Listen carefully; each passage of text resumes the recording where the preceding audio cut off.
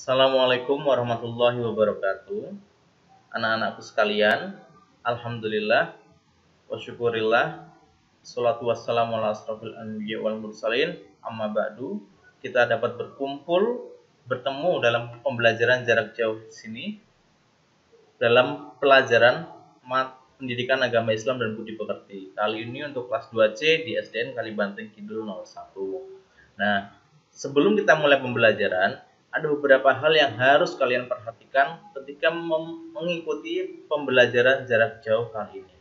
Ya, di antaranya yang pertama yang harus kalian perhatikan adalah satu, siapkan alat tulis kalian, buku tulis, pulpen, pensil, penghapus dan lain sebagainya siapkan. Karena apa? Nanti kita akan menulis beberapa materi dalam video ini. Yang kedua, pastikan kalian dalam keadaan bersih. Sudah mandi atau belum? Nah, kalau belum mandi silahkan mandi dulu.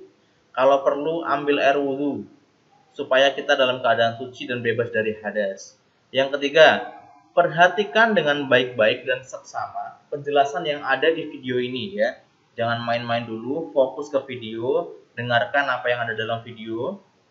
Kemudian yang keempat, tulis materi-materi yang ada di video ini. Setelah kalian mendengarkan nanti, kalian boleh menulis materi-materi yang ada di video ini. Supaya apa? Supaya kalian tetap ingat apa yang kalian pelajari nanti. Nah, sebelum kita mulai, ada baiknya kita berdoa pada Allah Subhanahu wa taala agar pelajaran hari ini dapat bermanfaat bagi kita bagi kita bermanfaat di dunia maupun di akhirat ya. Kita berdoa pada Allah, berdoa mulai. Bismillahirrahmanirrahim. Raditu billahi robba wa bil islami dina wa bi muhammadin nabiyya wa rasula. Rabbi zidni ilma warzuqni amin ya rabbal alamin nah untuk pembelajaran yang pertama Nabi Muhammad Wasallam teladanku. Nah, kita harus meneladani seluruh aspek kehidupan dari Nabi Muhammad. Karena apa? Nabi Muhammad adalah uswatun hasanah, contoh yang baik untuk kita semua. Maka kita harus teladani sikap-sikap Nabi, apa pun itu, sekecil apa pun itu.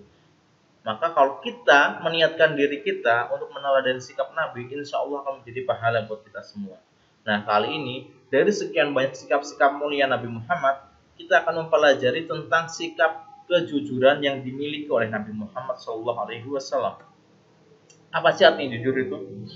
Jujur itu artinya lurus hati, tidak berbohong atau tidak curang.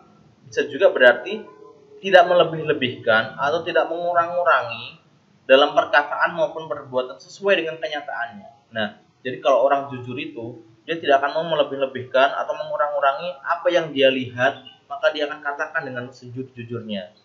Tidak ada dusta ketika mengucapkan, tidak melebih-lebihkan, ketika mengucapkan tidak mengurang-urangi, tidak mengurang-urangi sehingga apa yang dia sampaikan itu apa adanya, Niat jujur ini adalah niat yang lurus hatinya. Jujur supaya mendapat ridha Allah Subhanahu wa taala. Tidak juga curang. Misalnya eh, seorang pedagang dia curang mengurangi timbangannya, timbangannya sudah diatur berat baru diberikan eh, belanjaannya. Nah, itu curang mengurangi timbangan. Ada lagi misalnya kalau dalam keseharian kita kita minta uang saku sama orang tua kita, mah papa minta uang dong 5000 untuk apa? Untuk beli buku. Eh ternyata pas di luar untuk beli mainan. Nah itu adalah salah satu sikap bohong dan tidak boleh kita lakukan. Allah Subhanahu wa taala dan nabi kita Muhammad sallallahu alaihi wasallam melarang umat muslim untuk berbohong dalam perbuatan maupun perkataan ya karena dusta atau berbohong ini adalah salah satu termasuk dosa besar. Berbohong pada siapa pun, kepada orang tua, kepada guru, kepada teman tidak boleh. Kita harus belajar berkata dengan jujur dan apa adanya. Katakan saja jujur walaupun itu nanti terasa pahit ya. Katakan sejujurnya walaupun rasanya itu pahit. Jadi kalau kita misalnya nanti kalau saya berkata jujur saya dimarahin nggak apa-apa yang penting kita sudah berani jujur karena itu adalah akhlak terpuji. Salah satu sifat Nabi adalah berkata jujur. Tidak takut dengan resikonya, maka kita harus berkata dengan jujur. Apa pun resikonya itu karena hal yang demikian itu adalah disukai oleh Allah Subhanahu wa taala. Nah, Nabi Muhammad Shallallahu Alaihi Wasallam sangat dikenal sebagai orang yang jujur di kota Mekah. Saking jujurnya Nabi Muhammad sehingga satu kota satu kota Mekah itu menjuluki Nabi Muhammad sebagai Al-Amin. Al-Amin itu artinya orang yang dapat dipercaya. Dari kecil Nabi Muhammad sudah sudah bersikap jujur. Nabi Muhammad waktu kecil karena saking jujurnya sampai dipercaya oleh orang-orang Mekah untuk mengembalakan kambing-kambing milik mereka. Jadi kambing-kambing orang kota Mekah itu dikembalakan oleh Nabi Muhammad karena orang-orang Mekah percaya dengan Nabi Muhammad karena kejujurannya. Sehingga setelah dewasa Nabi Muhammad dengan sikap jujurnya dipercaya oleh Sayyidah Khadijah yaitu saudagar pedagang dari kota Mekah dipercaya untuk menjualkan dagangannya. Karena kejujuran Nabi Muhammad dalam berdagang sehingga meraup untung yang sangat besar. Nabi Muhammad ketika berdagang apabila barangnya tersebut jelek maka akan dikatakan jelek. Tidak dibagus-baguskan tidak ditutupi. Nabi Muhammad akan katakan sesuai dengan keadaan barang yang dijualnya tidak berbohong, maka Nabi Muhammad dapat julukan Al-Amin yang artinya dapat dipercaya.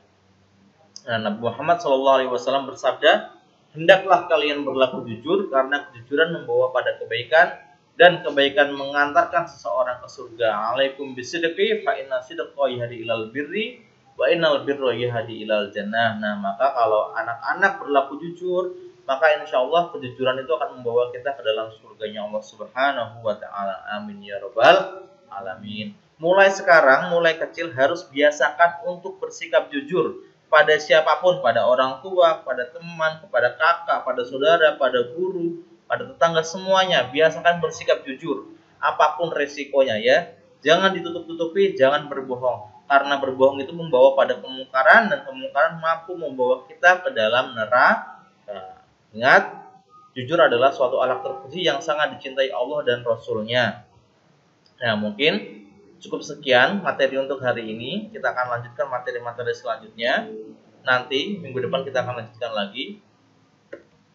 Nah, sebelum kita usaikan pembelajaran jarak jauh ini, kita berikan doa kafaratul majelis. Subhanakallahumma wa bihamdika asyhadu an la ilaha illa anta astaghfiruka wa atubu ilaik. Wassalamualaikum warahmatullahi wabarakatuh.